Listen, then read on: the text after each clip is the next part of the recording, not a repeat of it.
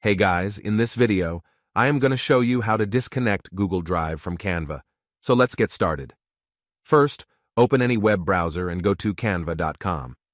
Now to remove Google Drive connection, click on Profile icon at the top right side. Now click on Account Settings.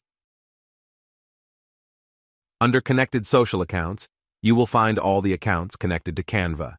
Here, only Google account is connected. So click on Disconnect button, and you will get a confirmation box to disconnect the Google account.